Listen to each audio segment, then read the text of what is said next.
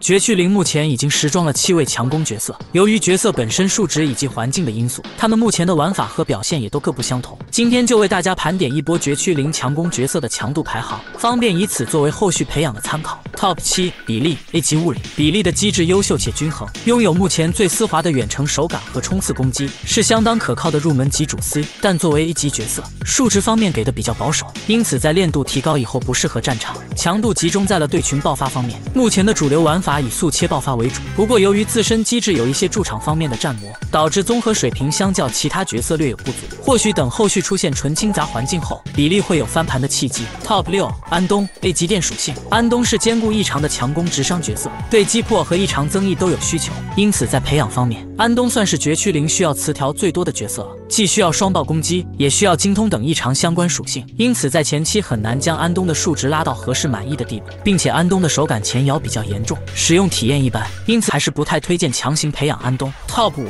可林 A 级物理，可林是 A 级强攻中数值最优秀的角色，但其技能模组完全对单且极度依赖失衡，非常吃环境和队友。但近期青衣时装，可林是最大的受益者之一。青衣为可林弥补了无能量时的战场时间，并且为其带来最高百分之八十的失衡硬伤，使可林的强度迎来了极大程度的提高。但由于可林纯对单，他在清杂方面的表现略有不足，这也使他在综合能力方面无法超越 S 级角色。Top 四，猫鼬 S 级物理，猫鼬作为物理属性角色，自身拥有比较不错的失衡能力，并且强击畏缩可以提高敌人受到的失衡值。阵容对击破角色依赖度不高，因此当前一般都搭配派派打双核。而猫鼬和派派的优势环境都是小范围对群，比较依赖敌人的站位或巨怪队友，所以目前的最优构筑已经从猫派系调整为猫派妮，带妮可提供巨怪和减防，甚至能与强击互相紊乱，整体表现还不错。但猫鼬在非爆发情况下的输出还是过于瓜了，因此目前是 S 级角色中推荐度最低的。Top 三，十一号 S 级火属性，十一号的数值一直都比较强烈，凭借露西的强力加成以及唯一限定 S 击破青衣的强势加持，是最值得培养的常驻 S 级强攻角色，并且开服阶段十一号有一波马卡巴卡的烈火心经教学，目前想掌握十一号刀刀烈火的操作已经不再是难事，对于大部分玩家来说都能轻松上手这位强力火 C，上下线都有保障。不过十一号目前依旧比较缺少大范围巨怪，